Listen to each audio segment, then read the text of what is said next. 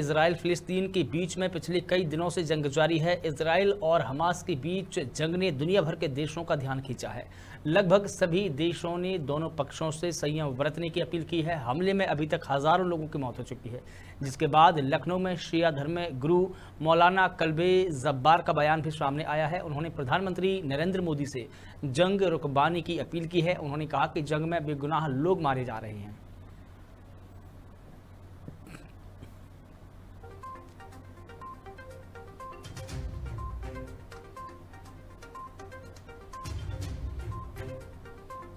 आज जामा मस्जिद ईदगाह लखनऊ में जुमे के मौके पर नमाज़ जुमे के बाद खसूसी दुआओं का अहतमाम किया गया और जिसमें खसूस फ़लस्तीन में अमन अमान कायम हो, इसके लिए अल्लाह ताला से खसूसी दुआ की गई और ह्यूमन राइट वायलेशन ख़त्म वहाँ पर हो, इसके लिए खसूसी दुआ की गई और इस मौके पर इंटरनेशनल कम्युनिटी से ये अपील भी की गई कि फ़लस्तीन की आज़ादी के सिलसिले में और फ़लस्तीन से रिलेटेड जितने भी रिजोल्यूशन यूनाइटेड नेशंस ने इससे पहले पास किए हैं, उन सबको अमली जामा पहनाया जाए, तभी जा कर के उस खत्े में अमन कायम किया जा सकता है।